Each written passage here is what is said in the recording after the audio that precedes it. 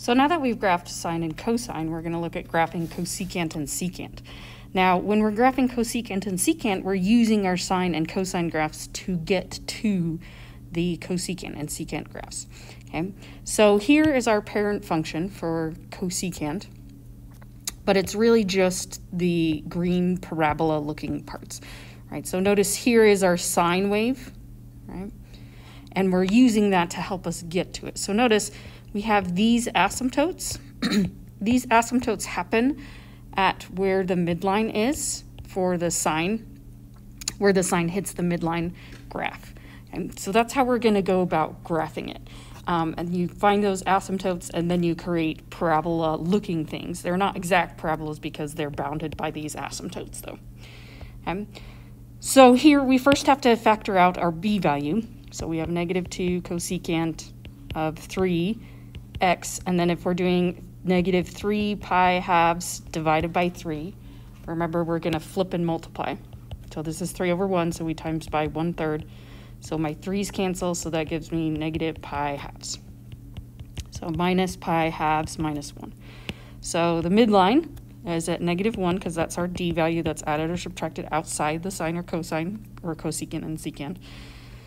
Um, and then our amplitude is the thing that's multiplied in front of the trig function, so in this case cosecant. So we go from the midline up to, from the midline down to.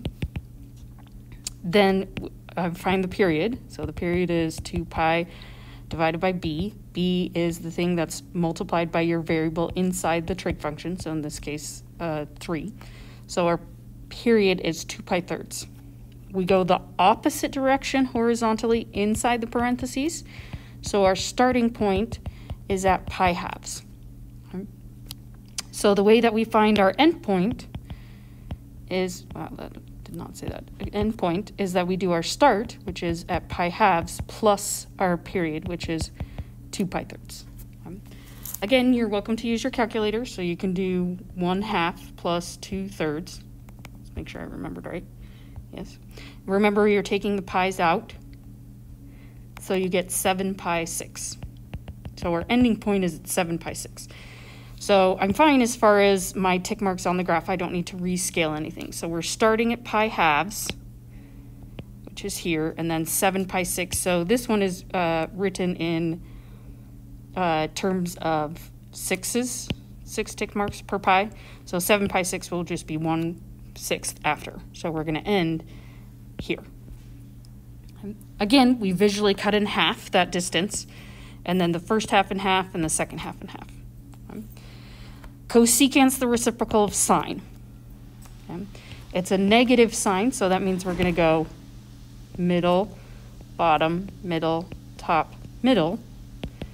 I like to, when I'm doing my secant and cosecant graphs, I like to do my sine or cosine as a dotted line so that I know it's not part of the graph. So now this is the new part. So here we create our asymptotes where the sine graph hits the midline. So at these three points, and they're vertical asymptotes. So we've got this is a vertical asymptote, this is a vertical asymptote, and this is a vertical asymptote. Okay. And then we create parabola looking like things. So here from our max, like this, and then here from our min, opening down like this. And then that's our graph. So if we try this one, we again have the b value is embedded inside this, so we have to factor that out. So we're going to have 1 half cosecant 1 half x minus. So if we take pi fourths divided by 1 half, that means we're going to flip and multiply. So that gives us pi halves, so minus pi halves. You can keep the negative here, I already had it there, so whatever way you want to do it is fine. Um, I should do my double sets of parentheses and plus a half. So lots of halves in here. So our midline is at a half. The amplitude is a half, so up a half and down a half from there. So nice and short uh, my graph is going to be. Then the period is 2 pi divided by b, which is 1 half. So I'm going to flip and multiply, so that gives us 4 pi. Oh, sorry, I didn't show the flip and multiply. So that gives us 4 pi for the period. We start the opposite direction inside the parentheses, so we're going right by pi halves. So we start at pi halves. So the end is going to be the start plus the period. So the start's pi halves, the period is 4 pi. So a half plus 4 gives us 4 and a half pi, which is the same thing as 2 times 4, which is 8, plus 1, which is 9 pi halves. So I look at my graph. We're only going to 2 pi. I need 4 and a half. So I'm going to rescale. So um, I'm going to do every 2 is a pi. You have some leeway here as to what you're doing for your tick marks. Um, but I have no qualms if you rescale your um, graph. Okay. So my starting point is at pi halves, so that'll be pi halves, and then I'm ending at four and a half, which is here. So I'm gonna go halfway in between, and then halfway in between, halfway in between. Okay.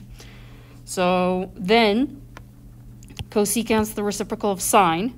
So it's a positive sign, so it's gonna go middle, top, middle, bottom, middle.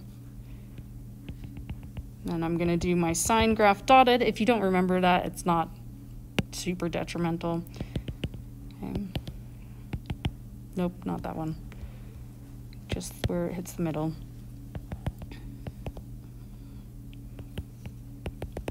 So since our sine graph hits the middles here, those are where vertical asymptotes are. And then we create from our max points parabola looking things and our min points parabola looking things. And then that's our graph. Okay. Now, secant's very similar.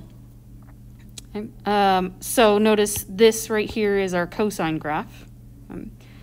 Um, we still have the asymptotes where they're in the middle.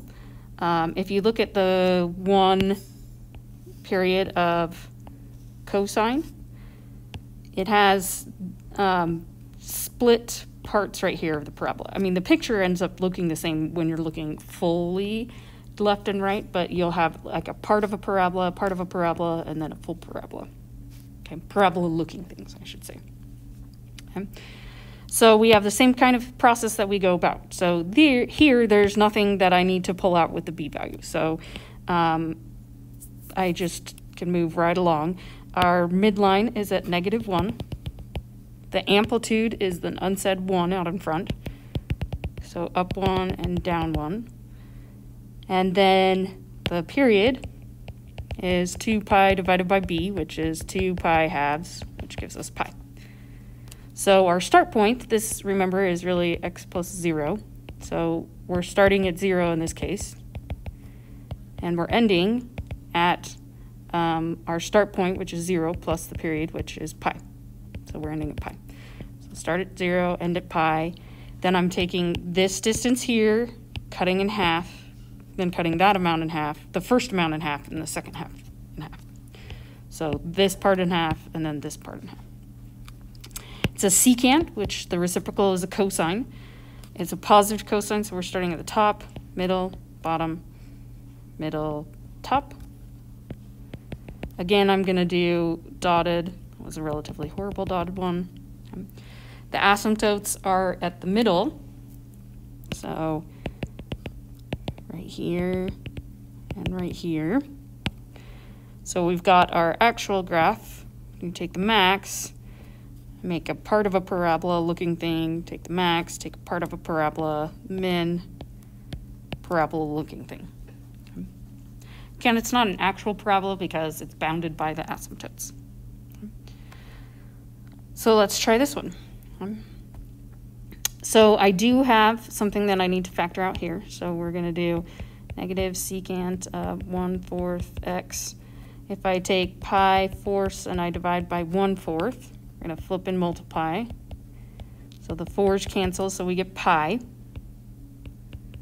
Now, you can always check to make sure you factor it out correctly. If I distribute this through, do you end up with the same spot? So 1 fourth x, which is this, and then 1 fourth times pi, which is pi fourths. So yes, I did factor it out correctly. It's a nice quick check that you can verify that you didn't mess anything up.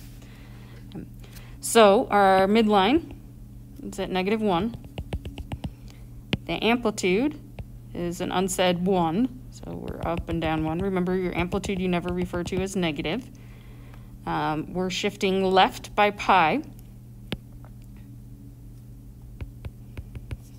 So we start at negative pi, and then the period is 2 pi divided by b, which in this case is 1 fourth. I did not leave a good amount of space to show you times by 4 over 1, which will get us to 8 pi. So our period is 8 pi. So notice this only goes up to 2 pi, so then that's problematic because I'm going all the way to 8 pi. Oh, we didn't find our endpoint. Um, so our end is the start, which is negative pi, plus the period, which is 8 pi, which gets us to 7 pi. So I'm starting somewhere over here and ending at 8 pi, right? So I need to rescale. So I'm going to do just every one tick mark as a pi. Good morning, teachers. Midvale Mining has breakfast set up in the library, so if you are here, make your way over to the library for Midvale Mining.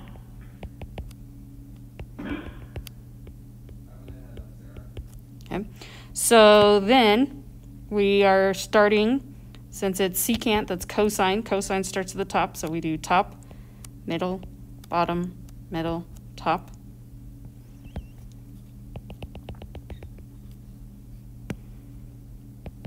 Asymptotes are where the cosine graph hits the middle. And then we've got start at the max, create a parabola-like looking thing, max, parabola-like looking thing. It's just half of it because we're, I didn't graph this portion over here, this portion over here. It'll end up having this part over here, right? If we continue to graph on. And then we've got this part right here from the min upside down parabola. And that's how you graph your secant and cosecant.